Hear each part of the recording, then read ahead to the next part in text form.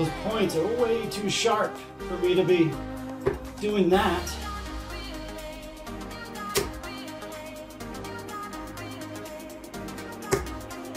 the highly requested Caliburn Matrix Darts review begins right now. Here we go.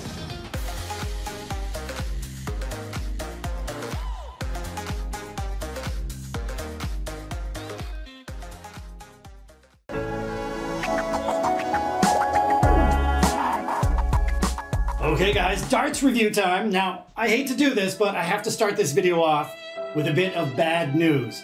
So, today is Saturday, August 12th. Yesterday, I uploaded that video, the unboxing video, and I showed you guys five brand new sets of incredible darts. Now, in that video, I asked you guys which set you'd like to see me review first. In the overwhelming majority of the answers, I scrolled through the comments section. You guys wanted to see the Melody review first. So yeah, hey, I don't blame you. What an incredible set of darts. So again, today's Saturday, August 12th. I sat down earlier this afternoon, started that video. I recorded a couple clips, and then I went to check the stats and dimensions. I put the barrels on the scale. Check this out. First barrel, 25 grams, right on the money. The second barrel, also 25.00 grams. That's when I got a bit excited. I'm like, oh boy, here we go. Perfect match weight.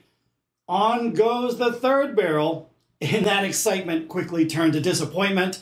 As you see there, 23 grams. So shit like that happens. It's not the end of the world. Companies screw up from time to time. But for some reason, they mixed up the 23 gram version with the 25 gram version. And um, so, yeah, that video is going to be on hold. Even though you guys wanted to see that, I thought about still going through with a review. But again, today's Saturday, August 12th. I contacted the manufacturer I assume they're going to get back to me and I assume they're going to sort that problem out. Worst case scenario, if they don't, I'll still go ahead and do the review with the mismatched darts. But um, yeah, again, you know, not the end of the world. I checked all four other sets, near perfect match weight on all the other sets. So yeah, just um, it's a bit unfortunate, right? But uh, we'll we'll fix it. We'll sort that out. But hey, good news.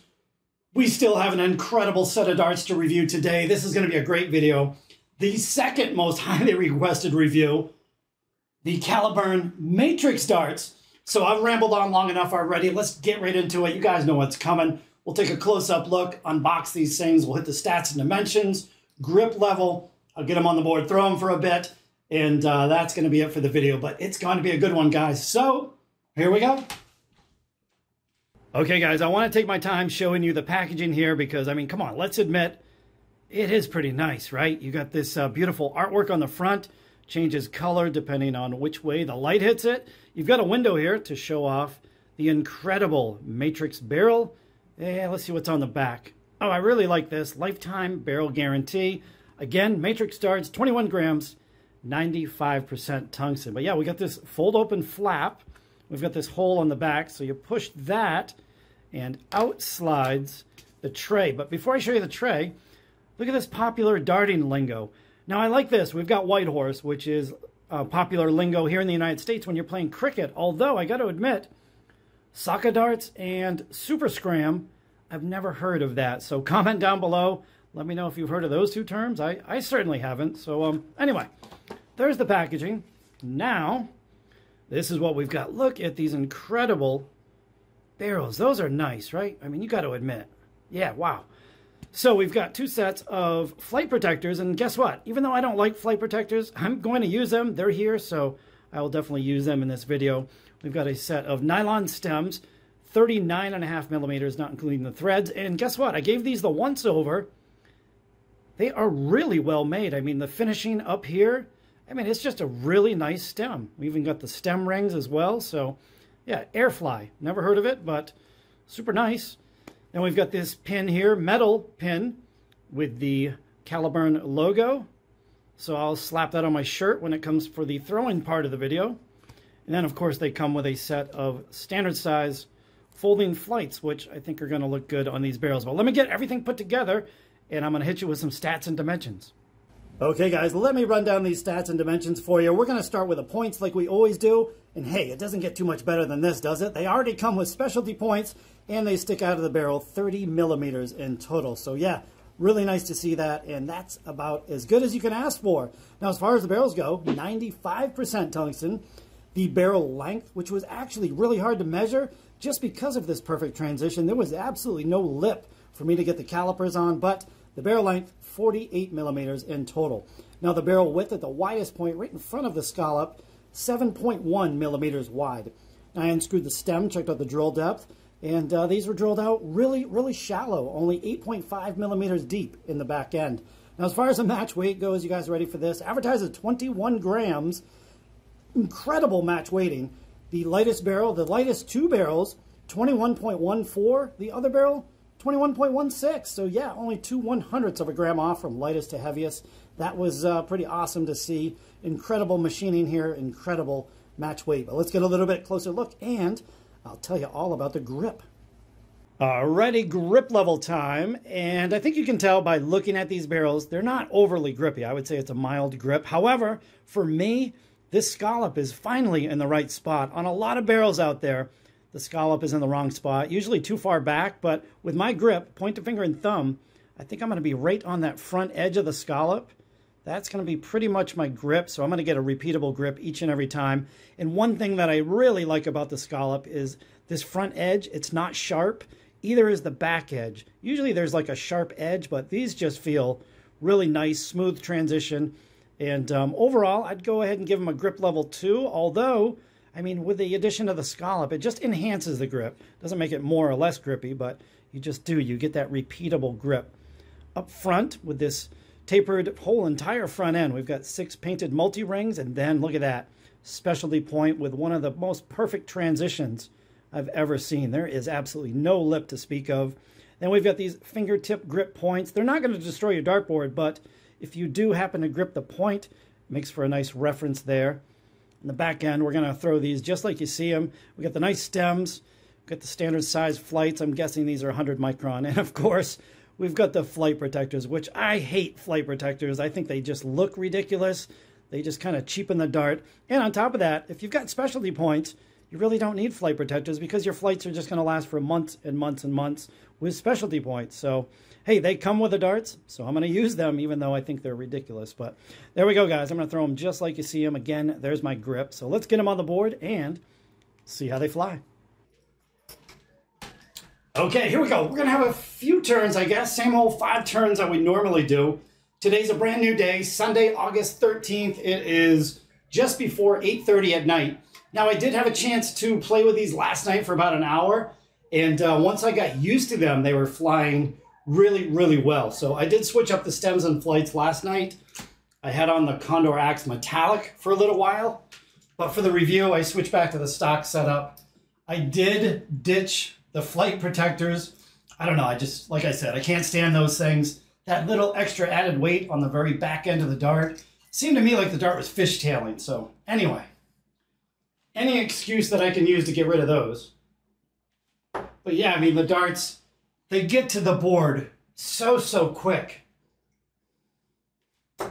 Oops. Well, that first dart was good, wasn't it? Hey, there we go. 121 out of the gate and they're grouping tight. Obviously, with the specialty point on here, there's no damage to the flights, even though I used them last night for, I don't know, half hour, 45 minutes. And generally, generally, you know what? I don't like a dart with a scallop on it, just because very rarely do I ever find one where it's in the right spot. But this kind of being dead middle in the barrel, not too bad. So I can actually utilize some parts of it Ooh, just on the other side of the wire. Loose stem. All right, so yeah, they're flying pretty good here. 83. The points, absolutely no damage to the board, but the points do stick in really well. And you know what? They're pretty sharp, which I think I mentioned in the very first um, first clip of this video when I was doing bullseyes.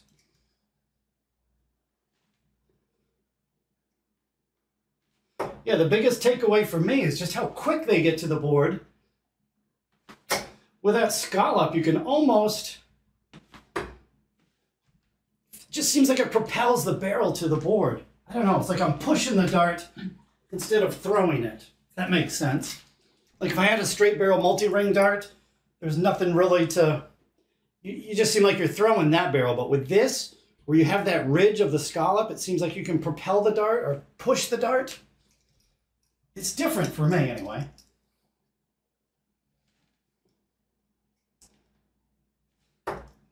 Wow, yeah, they're, they're zippy to the board.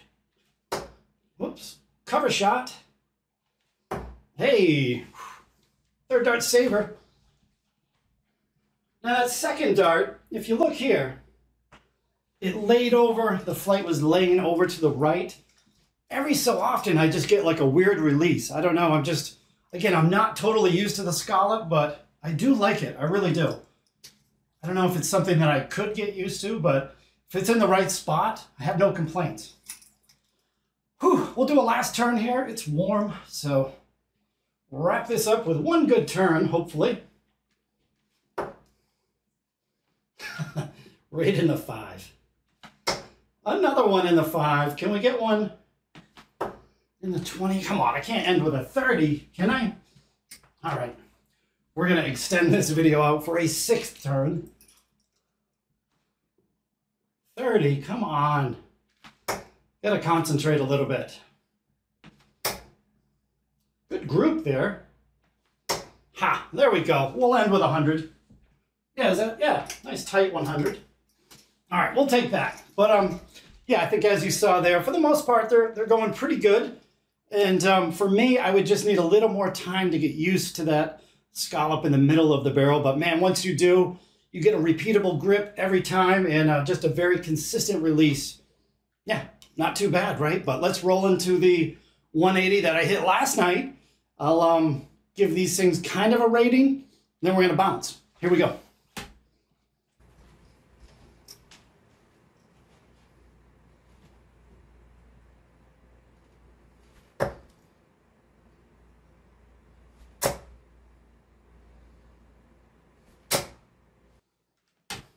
Wow.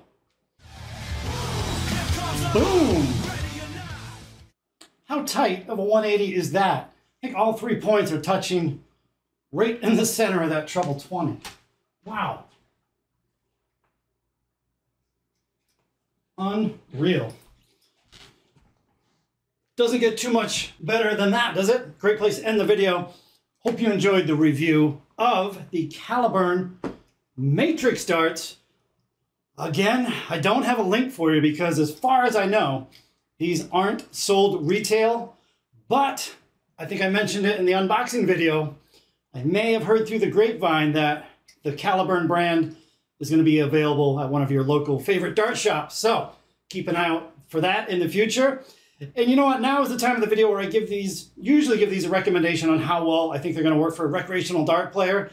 Because I don't know the price that these are going to be at, and just simply because they're not available in a retail store yet, I'm going to go ahead and skip that. However, I mean, for a scallop dart, I usually don't like a dart with a scallop in it, but man, I like these ones.